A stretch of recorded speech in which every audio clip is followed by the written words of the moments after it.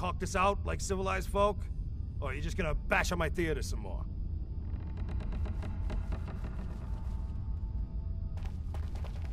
Hey! You all done killing each other?